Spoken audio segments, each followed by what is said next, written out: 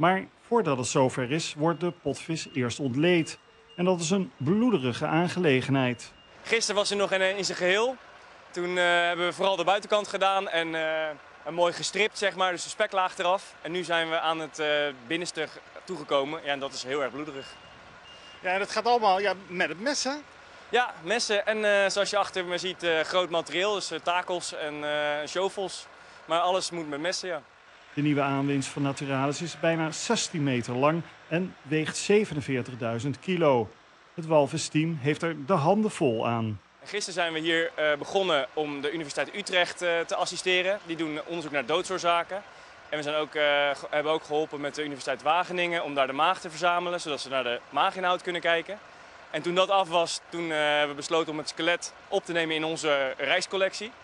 Dus daar zijn we nu mee bezig om te verzamelen.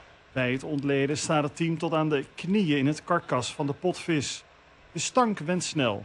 Grootste probleem is de hitte. De zon is al eh, lekker, maar het hele karkas is nog aan het rotten. En er komt een hele hoop damp eh, vanaf en dat eh, maakt het extra warm. Dus dat was voor mijn eerste gedachte, het is hier warm.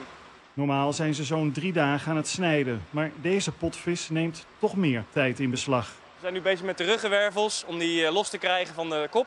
Als dat weg is, dan hebben we bijna het, het, het postcranialis. Na de kop hebben we het skelet eh, eruit.